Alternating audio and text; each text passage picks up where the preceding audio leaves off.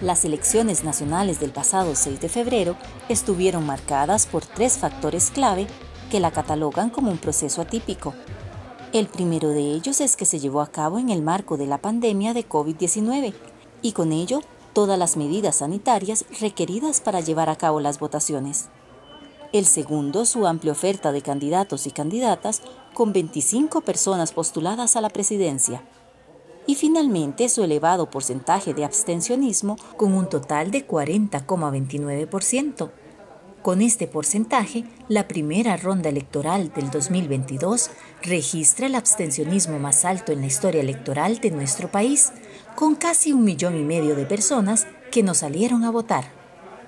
Y es que el abstencionismo ha sido una constante en los procesos electorales y se ha convertido en un fenómeno complejo motivado por diversas causas. Cuando se habla de no votar o del abstencionismo, son muchos factores los que entran en juego. Y aquí estamos hablando entonces del hecho del distanciamiento que sienten las personas en cuanto a lo político, a la política y estas personas que también están de, esos actores importantes dentro de los partidos políticos. Y eso también es otro factor, el hecho de las erosiones hacia estos partidos tradicionales y el surgimiento de nuevos partidos políticos hace que entonces la gente se distancie de lo que es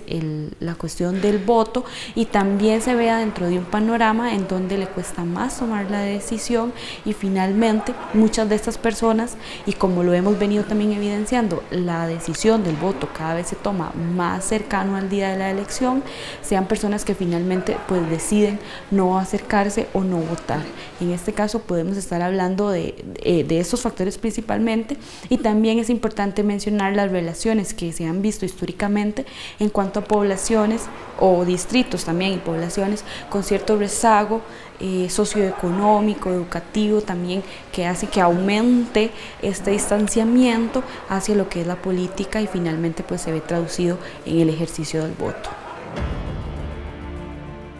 Según datos del Tribunal Supremo de Elecciones, desde la elección de 1998, el país viene registrando un aumento en sus índices de abstencionismo hasta llegar a más del 40% en el 2022.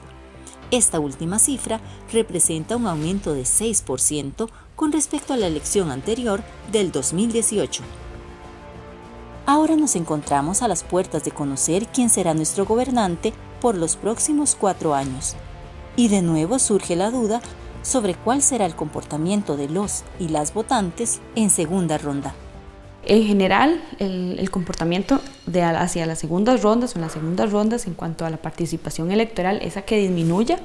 que las personas em, se sienten menos motivadas o asisten menos a, a, votar en este segundo momento. Una cosa importante es que ya pasaron dos meses de aquella primera elección, muchas personas además se quedan sin candidato o candidata las personas que ya habían decidido apoyar a una persona en primera ronda y que ahora ya no, no está ese partido tan, y, ninguna de las otras dos opciones pues logró terminar de convencerle. En este caso también pues hemos tenido una campaña de segunda ronda en donde em, igual ha habido un clima bastante... Em,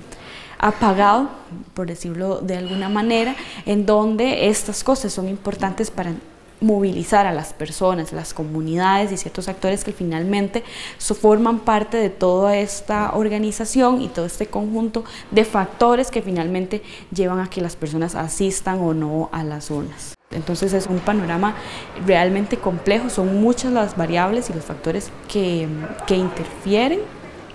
y que definitivamente en cuanto a participación y la distribución geográfica de, de, estos patrones de participación de las personas em, nos van a decir mucho.